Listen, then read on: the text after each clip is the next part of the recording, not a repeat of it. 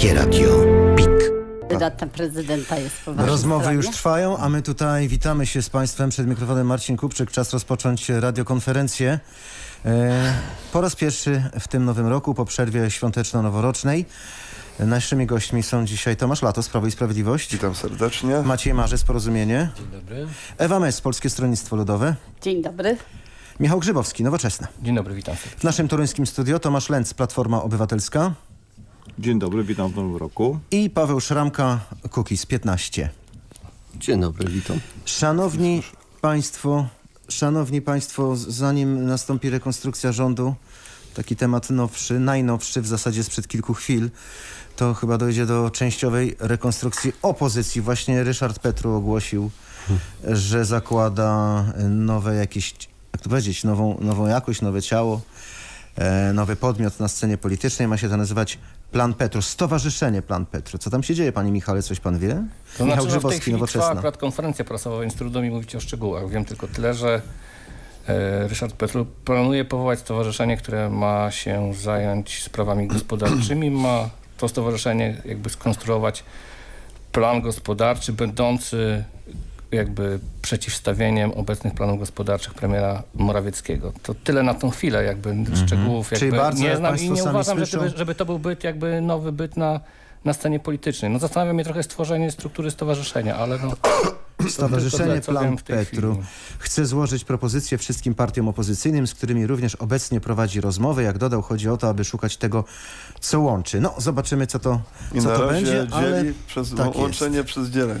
zobaczymy, jak to będzie. Poseł Tak. Latos jest, że tak powiem, w dobrym nastroju, ale przypomnę, że była Polska no, nie- najważniejsza, Polska Solidarna, Gowin wychodził, I Ziobro potem się połączało. No. A potem się, tak, no polityka ma to do siebie w Polsce, że rzeczywiście dzielenie, mnożenie, a potem znowu łączenie. Mamy taki proces, który trwa od lat. A potem znowu łączenie, więc zobaczymy, jak będą, jak Kto wie. będą wyglądały ścieżki pana, pana Ryszarda Petru. Szanowni Państwo, przechodźmy do naszych tematów.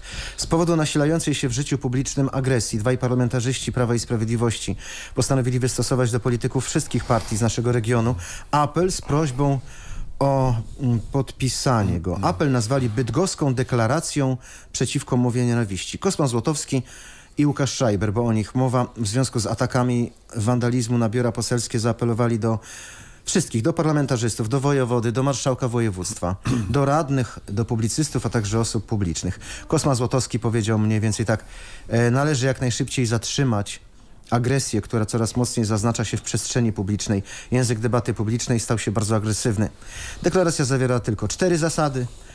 Wzajemny szacunek, prawda i fakty, poszanowanie życia prywatnego i dystans wobec emocji. Panie pośle, podpisałby się pan pod tym? Czy już się pan podpisał? Czy ma zamiar? Ja sądzę pod takimi faktami to każdy, znaczy de deklaracjami to każdy mógłby się podpisać. To, to każdy z nas powinien oczekiwać, że ta debata publiczna będzie przy, merytoryczna, z pewną kulturą i wzajemnym szacunkiem. Yy, Ja sądzę, mówię to na podstawie swoich własnych doświadczeń, ja generalnie pomijając jakieś incydentalne, pojedyncze sytuacje, kiedy no doszło do jakiegoś zwarcia, chociażby, no pozdrawiam pana posła Lenca z Torunia, ale to oczywiście mówimy o tym, co się dzieje w studiu. Zaraz będziemy tu sobie Yy, rozmawiali to- bardzo to- przyjaznym, to- kulturalnym to zakładam, językiem. To zakładam, że przecież większość debat, w których ja uczestniczyłem, to y, zawsze była, no właśnie, mam nadzieję, głównie merytoryczna i spokojna.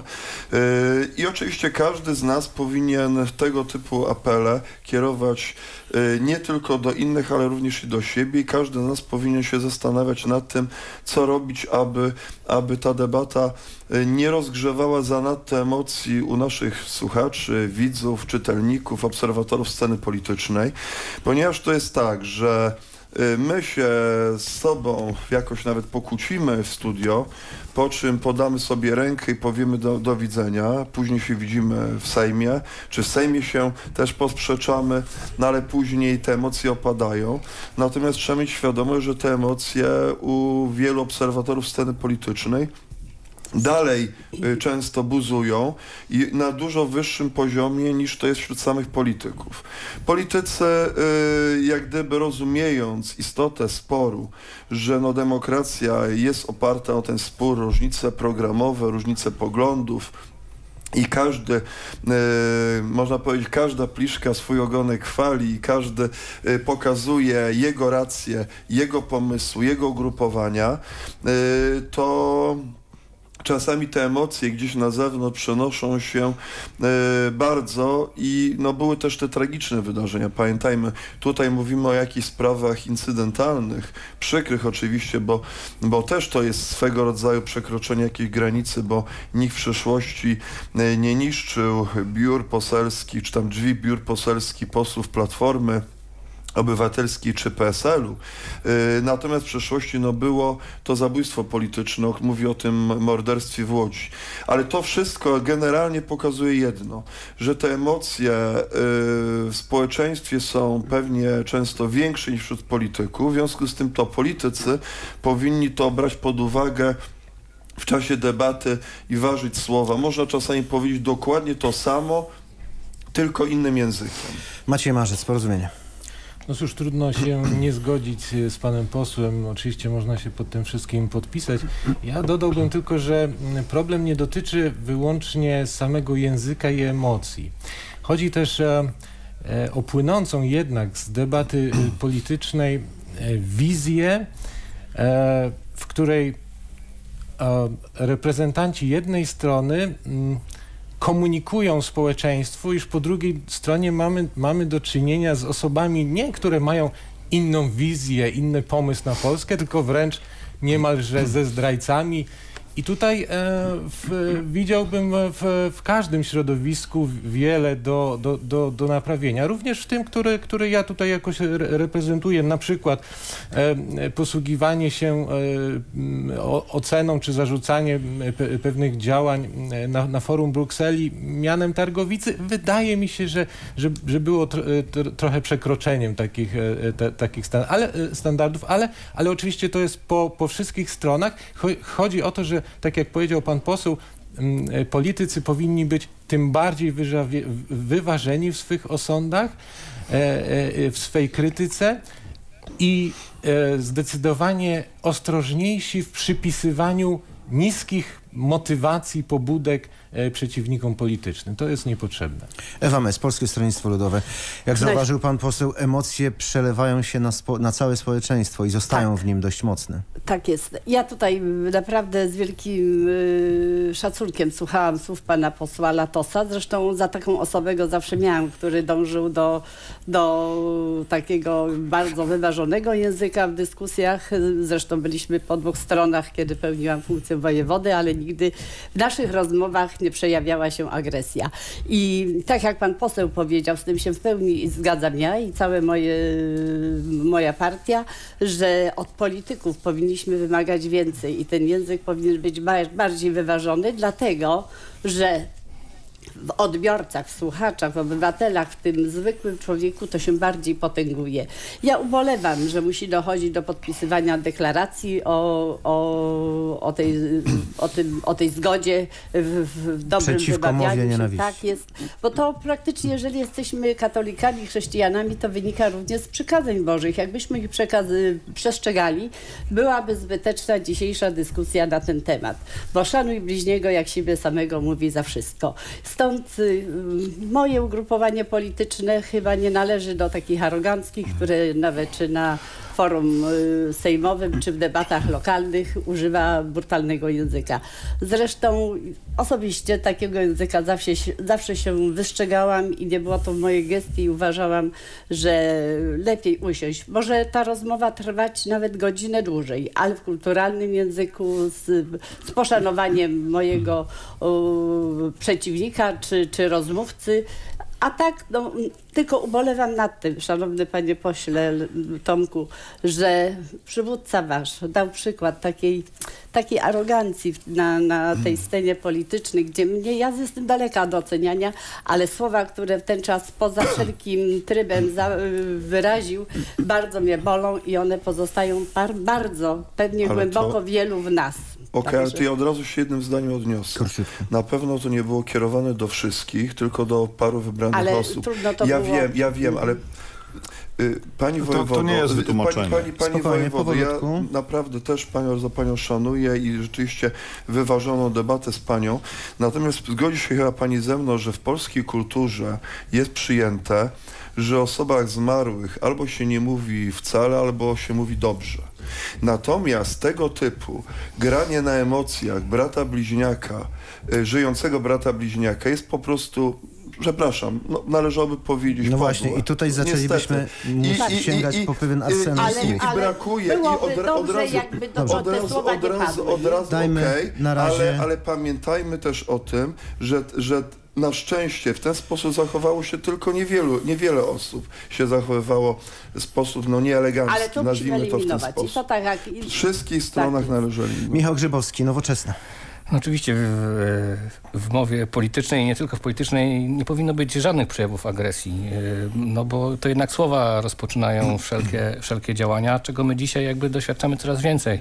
Yy, Tutaj deklaracja yy, posłów Prawa i Sprawiedliwości dotycząca yy, jakby właśnie pohamowaniu się yy, przeciwko negatywnym wypowiedziom, y, czy też, czy, czy też czynom. Ja niemniej chciałem przypomnieć, że to Nowoczesna y, w roku 2016 y, przygotowała ustawę o mowie nienawiści i głosami Prawa i Sprawiedliwości 4 listopada 2006 roku ta ustawa o mowie nienawiści została przez Prawo i Sprawiedliwość odrzucona, więc to działanie dzisiaj takie jest, jest trochę dziwne. Można było to, y, to mowę nienawiści zahamować poprzez y, dobrze przygotowaną ustawę. Y, tak, tak się nie stało. No, my generalnie jako Nowoczesna jesteśmy przeciw, przeciwko wszelkim formom przejawu agresji. Myślę, że posłanka nasza, Jana Schering-Wilgus, no, jest twarzą jakby wszelkich działań związanych z mową nienawiści i działaniom jakby zapobiegającym takim właśnie sytuacjom. Ale Przenieśmy nigdy się. nie jest za późno. Przenieśmy No, ja się mam do Torunia. Tomasz Lenz, Platforma Obywatelska.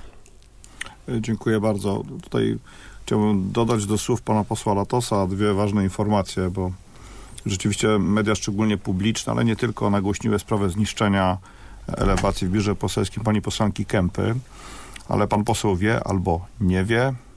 Tuż po wyborach parlamentarnych zniszczono tablicę biur poselskich oraz elewację biura poselskiego we Włocławku posła Tomasza Lęca i posła No to Arkadiusza Myrchy. Jest to również Zgłosili- naganne, panie. Zgłosiliśmy, Również zgłosiliśmy to naganne, na, oczywiście. ale jako przykład działania e, podam, bo to są wszystko fakty, więc tutaj łatwo je sprawdzić. Zgłosiliśmy to na policję. Niestety komenda e, Policji Miejskiej we Włocławku umorzyła tą sprawę po dwóch dniach, a co ciekawe, po tym wydarzeniu z posłanką Kępą i nagłośnieniu tego przez media, skontaktowała się z asystentem naszym we Włocławku, chcąc po dwóch latach podjąć jednak tę sprawę. No, ta, takie, takie są No to niestety dobrze, że jakaś fakty. refleksja jest też. I no przypomnę, że o czym pisały media ogólnokrajowe, zniszczono e, elewacje i tablice poselskie biura posła e, Krzysztofa Brejzy w Inowrocławiu. To pan zapewne o tym wie, no więc Nie, nie, rzeczywiście... nie, wie- nie wiedziałem, panie takie- pośle, nie nie, powinno pan. to, nie powinno się tak dziać. Odsyłam do mediów. Żeby było Odsyłam jasne, Takie rzeczy ma, miały miejsce. zgoda, Więc że nie nagannie od- takiej tak. sytuacji. Wracajmy do tej Oceniamy takie deklaracji rzeczy nagannie. polskich polityków. Właśnie. I teraz e, ja to traktuję jako oczywiście dobrą monetę. Chciałbym, żeby rzeczywiście w, w ramach tego, tego, co się dzieje w mediach mm, e, społecznościowych, mediach publicznych, mediach także prywatnych, a także w Sejmie było mniej słów, które powodują napięcia. Mm. No ale ja jednak pozwolę sobie przypomnieć e, wypowiedź dyrektor spraw edukacji i uwaga, komunikacji w Ministerstwie Sprawiedliwości z PiSu, pani Baty Nowosielskiej, która powitała, powiedziała tak. Powitanie dla Tuska. Kajdanki i szubienica. Tak, no, to co powiedział Jarosław Kaczyński, wszyscy wiemy, nie wycierajcie swoich mord zdradzieckich moim świętej pamięci bratem, niszczyliście go, zamordowaliście go, jesteście kanaliami. No, pamiętamy, akurat tego wieczoru w Sejmie, tak jak pan poseł Tomasz Latos mówił, działo się bardzo wiele negatywnych rzeczy. Też Jarosław Kaczyński ba- bardzo podgrzał atmosferę. Inna sprawa, że te tysiące ludzi wokół Sejmu też powodowały pewnego rodzaju atmosferę wewnętrznego napięcia. To, to był taki dzień apogeum, wydaje mi się, emocji, które miały miejsce. Ale ja też powiem, że są parlamentarzyści, są parlamentarzyści, których odbieram jako wręcz prowokatorów. Y, Takim posłem z ramienia Prawa i Sprawiedliwości, panie pośle, który zawsze wywołuje emocje negatywne, jest poseł Tarczyński, ale wchodzi na mównicę, jest wysyłany przez klub parlamentarny, chodzi do mediów. No, osoba o wyjątkowym talencie do mówienia rzeczy złych o innych, yy, agresywnych, niechętnych innym ludziom, wywołująca ogromne emocje. Znaczy, oczywiście my nie możemy zapanować nad wszystkimi posłami w Sejmie z różnych ugrupowań. No bo to tak wygląda niestety, że, że niektórzy mają Ustawą inny temperament. wspomnianą przez pana Grzybowskiego Tak. też by się tego nie załatwiło pewnie. Na, natomiast fakty są takie, no, że są tacy parlamentarzyści, którzy tą atmosferę bardzo, bardzo podgrzewają. Niektórzy robią to sporadycznie w wyniku emocji, a są tacy, którzy robią to celowo, regularnie i jest to tolerowane i należałoby nad tym wewnątrz kółów parlamentarnych się zastanowić i podyskutować. Więc ta deklaracja panów posłów e, mam nadzieję, idzie w kierunku tego, żeby w ogóle w życiu publicznym było mniej aktów wandalizmu, niechęci, niszczenia e, majątku, e, który należy przecież do e, kancelarii Sejmu. To No, ale właściwie także symbolicznie akty agresji emocji- wobec osób, jeśli nie można sięgnąć do emocji- osób, niszczy się ich drzwi czy tabliczkę tak. z nazwiskiem. Ale po, Tak. no pamiętajmy że też, że te emocje takie ogromne, które towarzyszą polskiej policji to od dwóch lat spowodowały, że, że doszło do, do samospalenia osoby, która protestowała przeciwko polityce PiSu. No to też świadczy o no coś, coś niebywałego, o ogromnych emocjach, które w polskim społeczeństwie mają miejsce. Nie, może ten list jest początkiem jakiejś takiej głębszej dyskusji, czy w takim kierunku nadal powinniśmy iść, do czego to prowadzi. A z drugiej strony, obserwując politykę w innych krajach, też zadaję sobie pytanie, e, czy te emocje w innych krajach e, niekiedy nie są zbliżone do tego, co się dzieje w Polsce. To jest żadne usprawiedliwienie oczywiście, Nawet większe. ale niestety w ogóle polityka na świecie wchodzi na takie tony emocji i, i, i wzajemnych relacji, które, które niepokoją, tak? Nie, mniej, mniej dialogu, mniej dyskusji, mniej wymiany poglądów, mniej dyskusji na programy, a właśnie e, bardzo dużo emocji. No tak, to, to w jakimś parlamencie bito generalnie się złe. drzewcami od flag, czy też buty fruwały w powietrzu i krzesła i stoły. Paweł Szramka, Kukiz 15. Panie redaktorze, oczywiście de- deklaracja słuszna, natomiast y, nie chodzi o to, żeby tylko podpisywać, żeby deklarować y, takie zachowania, ale przede wszystkim, żeby wdrażać to w życie, a niestety poziom debaty sejmowej jest y, naprawdę niski. Ja się nie dziwię Polakom, że jak to oglądają, no to, to wywołuje takie emocje. Nie wiem, czy nasi słuchacze wiedzą, ale za sprawą interpelacji y, posłów Kukiz 15 dowiedzieliśmy się, że dzień pracy Sejmu, jeśli policzymy wszystkie koszty, to jest milion trzysta tysięcy złotych.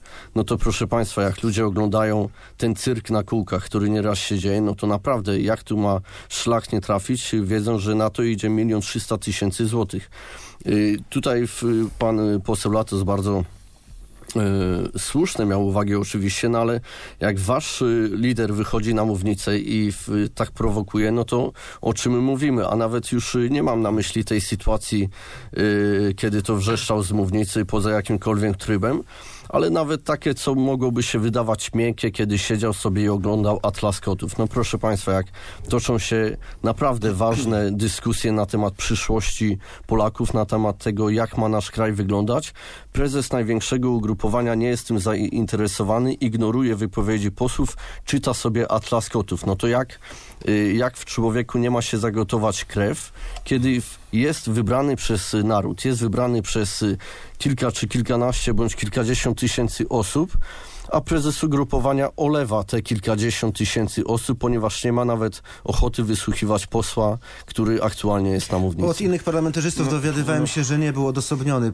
prezes pra Prawa i Sprawiedliwości. Ponoć Oczywiście. posłowie czytają różne rzeczy, nie tylko sejmowe Niewą- dokumenty. Niewątpliwie tak, natomiast no muszę powiedzieć, yy, ledwie ta inicjatywa powstała, to już widzę wskutek tego, że nie widzi się belki we własnym oku.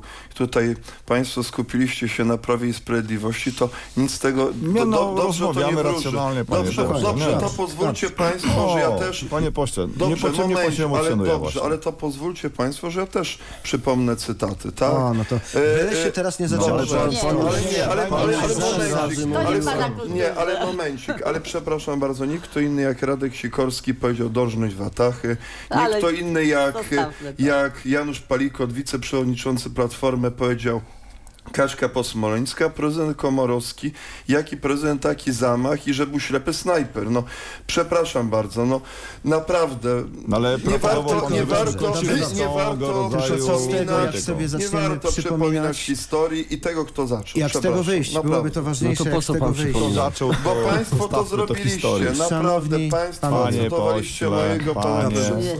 Jak z tego wyjść, to będzie nie zadanie już, już dla was, ale jest też kolejny problem, z którego należałoby jak najszybciej wyjść, bo ten akurat, o którym teraz będzie mowa, dotyczy dokładnie wszystkich nas.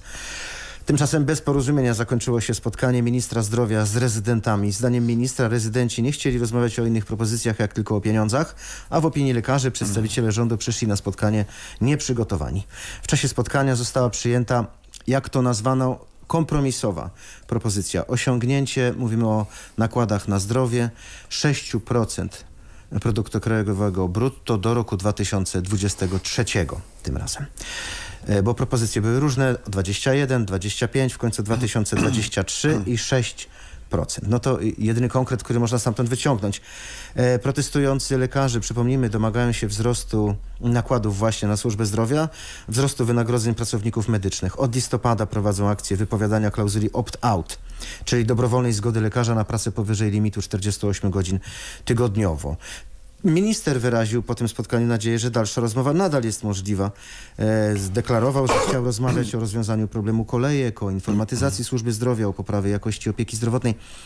Natomiast wiceprzewodniczący porozumienia rezydentów Jarosław Bieliński stwierdził, że z żalem musi powiedzieć, że jest bardzo rozczarowany tym spotkaniem. E, są e, zmęczeni lekarze, rozczarowani. Minister zdrowia i minister Suski przyszli kompletnie nieprzygotowani, bez żadnych propozycji.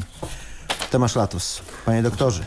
Ja też jestem rozczarowany, że nie było kontynuacji dalszych rozmów. Trudno nam ocenić, bo mamy jedno zdanie przeciwko drugiemu zdaniu, ale jedno jest bezsporne, bo to jest faktem, że te rozmowy przerwano i ich dalej nie kontynuowano. Bo to, że są dwa różne stanowiska, to można było się tego spodziewać w momencie, kiedy do tych rozmów y, y, obie strony usiadły. Natomiast y, przykre jest to, że po dość krótkim czasie rozstano się z takim, a nie innym komunikatem. Jedna strona mówi jedno, druga strona mówi drugie. W związku z tym no, pewne kilka faktów przypomnijmy. Po pierwsze, ten rząd yy, w końcu, bo to jest postulat od 20 paru lat, aby zwiększyć nakłady na ochronę, w ochronie zdrowia do 6% PKB. Yy, jest ustawa, która została przyjęta, która tą sprawę reguluje i wreszcie ten wzrost nakładów nastąpi. Rozumiem, że jest spór, jakie ma być duże tempo tego wzrostu. Nie do 25 roku, chciano do 21, rozstano się, że może w 23 mhm. i wokół tego rozumiem jest o czym rozmawiać, ponieważ nikt rozsądny nie chciałby, aby było wzrostu nakładów skokowo natychmiast, nie wiem, 100 milionów czy 50 od przyszłego roku, czy od tego roku, dlatego że ten system, każdy to powie, wymaga reformy, przekształcenia, żeby był bardziej e, wydajny, bardziej e, e, korzystny dla pacjenta. W związku z tym trzeba te dwie sprawy robić równolegle, zmieniać system i dosypywać pieniędzy. To jest jedna sprawa. Druga sprawa to jest kwestia podwyżek dla rezydentów. Do lipca ubiegłego roku rezydenci zarabiali od 3200 do 3700 brutto bez dyżurów, czyli plus dochodziło jeszcze wynagrodzenie za dyżury. E, po podwyżkach, które były naliczone również wstecznie do lipca, e, od lipca ubiegłego roku, dostali od minimum 500 do 1700 złotych podkreślam, do pensji zasadniczej, czyli znowu bez dyżurów, czyli ci powiedzmy średni beneficjenci, czy ci może nieco powyżej średniej, mają przynajmniej 5 tysięcy złotych albo około 5 tysięcy złotych, albo i powyżej 5 tysięcy złotych już dzisiaj, bez dyżurów. Yy, no i w zasadzie yy, powiedzmy też jeszcze jedną rzecz, nawet jeżeli y, klauzula opt-out obowiązuje w całej Unii Europejskiej, czy prawie całej Unii Europejskiej, lekarze również o to walczyli no bo taka jest specyfika zawodu, że ktoś po pracy od 8 do 15 zostaje na dyżurze, yy, później następnego dnia jeszcze bierze udział w wizycie, załatwia jakieś pilne sprawy i około 10 schodzi po dyżurze.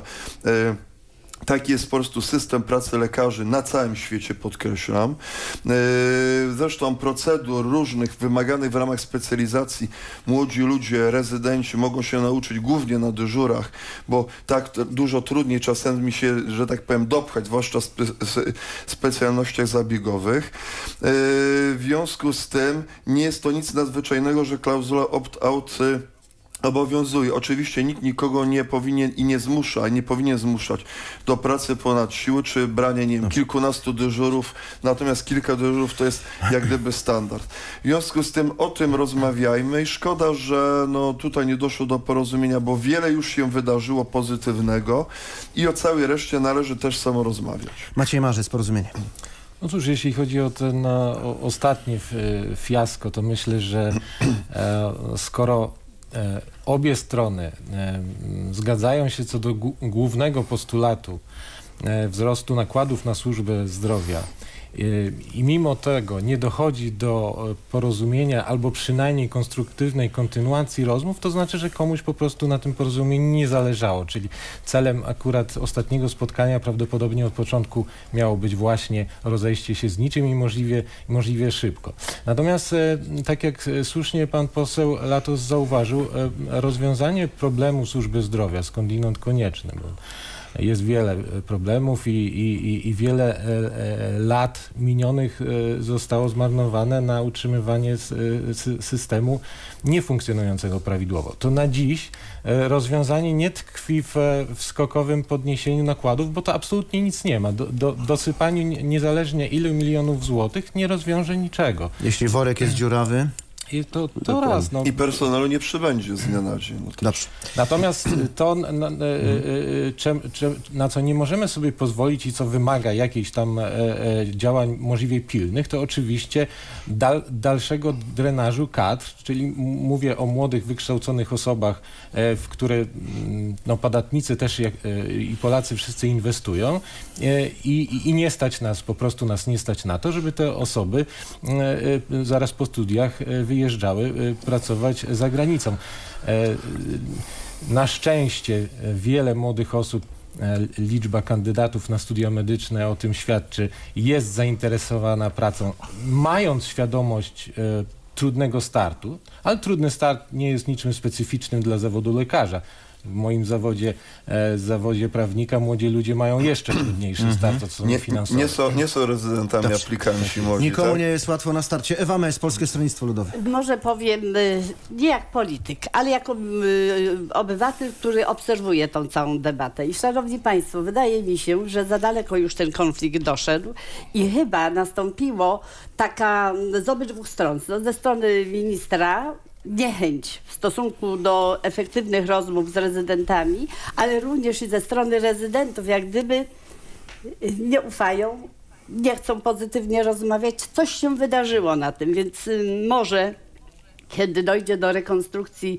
y, rządu i nastąpi zmiana, szanowny panie pośle, na stanowisku ministra zdrowia, to te rozmowy potoczą się inaczej. Na pewno, nie wiem czy udało się, czy może, czy mogę tak powiedzieć, że minister jako lekarz nie postawił y, dobrej diagnozy w stosunku do tego problemu, który się pojawił, bo pewnie pierwszy, pierwszy problem tkwi w tym, że my mamy za mało lekarzy lekarzy. Jeżeli byłoby ich więcej, nie byłaby aż tak popularna y, umowa, która mówi o pracy w wielu o, o nadgodzinach i łatwiej może byłoby w ten czas y, uzdrawiać tą służbę zdrowia. Na pewno worek jakiś dziurawy, doskonale to panie pośle wiemy, kiedy analizowaliśmy sytuację w naszym regionie, ale też się zastanawiam, czy przy każdej zmianie rządu musi następować tak głęboka wymiana kadr nawet tych, y, tego, ty, tych średnich urzędników, gdzie dokonujemy, każda ekipa, która pracuje, no pracuje, dokonuje analizy, bada problem, bo przecież ten problem, tak jak tu i moi przedmówcy powiedzieli, nie pojawił się w ciągu dwóch lat, on, on istnieje praktycznie bardzo długo.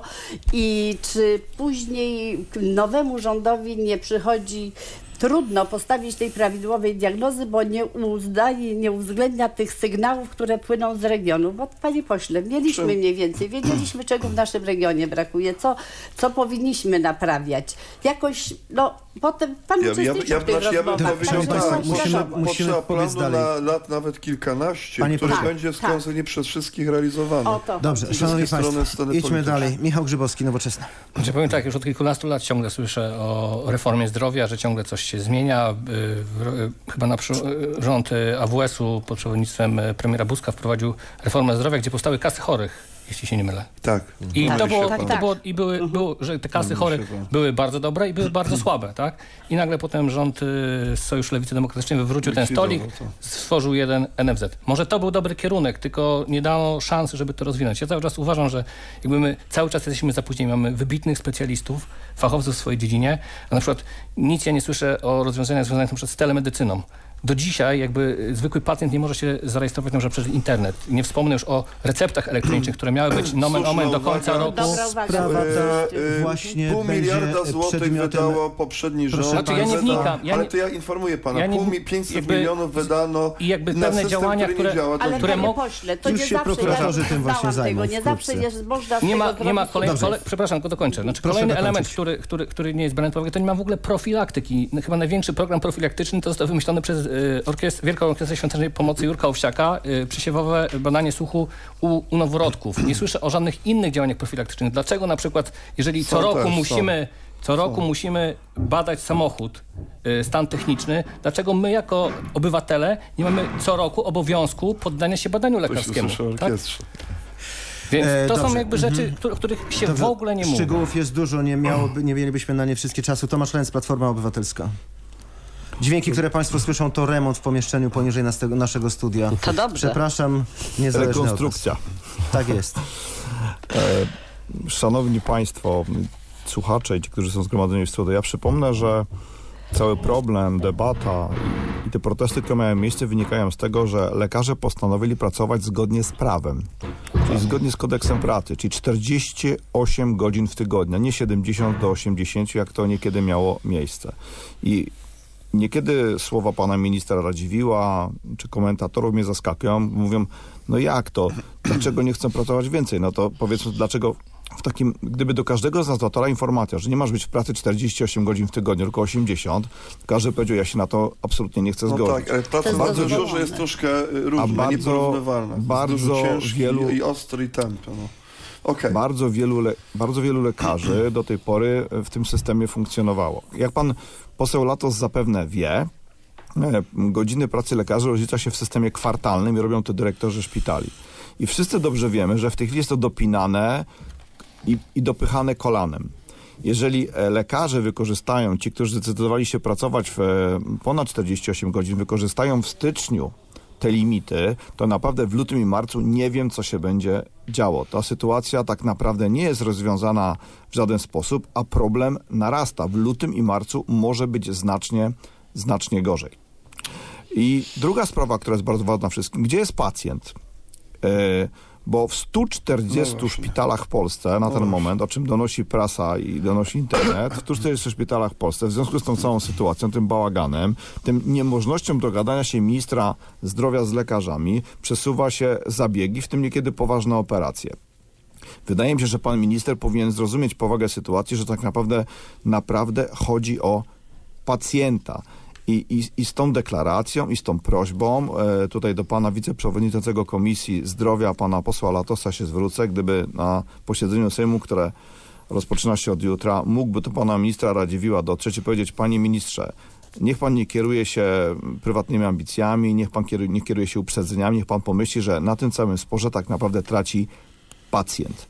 A to, że lekarze młodzi, i nie tylko młodzi, chcą pracować 48 godzin, a nie 80, ja im się po prostu nie dziwię. Pan poseł Latos oczywiście mówi, no dyżur w szpitalu to nie jest praca. No, no nie, nie, wiem, jest tak praca, jest, nie, nie, jest pracą. praca, tylko, jest. nie, nie, jest praca, tylko są różne dyżury. rozumieć? Są ostre Różne. dyżury, gdzie Lżejsze praca jest i- na no tak, okrągło no tak. i są Spokojniejsze. dyżury tępe, Tak, tak? tak. No, więc no to prawda, ktoś- to jest to ktoś inny jeździ- system, tego nie porównujmy Prawda, z karetką, normalną ktoś dyżuruje na oddziale, ale panie pośle, mi, mimo wszystko wydaje mi się, że no, ta jest pana proste, opinia nie jest to trafiona.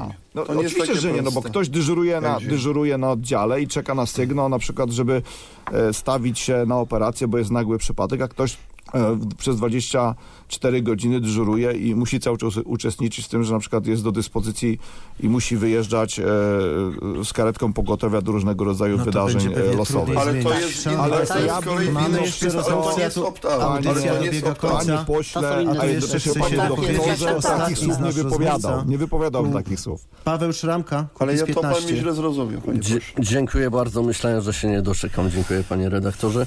Tu bardzo słuszną y, uwagę miał miała pani Ewa z tym, że właśnie już konflikt do tego stopnia narósł, że lekarze nie potrafią dogadać się w, z ministrem i y, myślę, że rozwiązaniem jest to, co proponuje Kukiz 15, czyli taki zwyczajowy okrągły stół, przy którym usiedliby przedstawiciele wszystkich y, ugrupowań politycznych, do tego przedstawiciele pacjentów, lekarzy, żeby wszystkie środowiska zainteresowane reformą były y, w tych y, rozmowach obecne. Problemem jest to, że każdy rząd, który przychodzi, ma pomysł ewentualnie na 4 lata. Ja podejrzewam, że taka prawdziwa reforma zdrowia wymagać będzie du dużo dłuższego okresu, a to jest takie łatanie tego dziurawego worka łatkami, które w, nawet swoją powierzchnią nie są w stanie w połowie załać, załatać tej dziury i dlatego mamy cały czas taką sytuację, jaką mamy.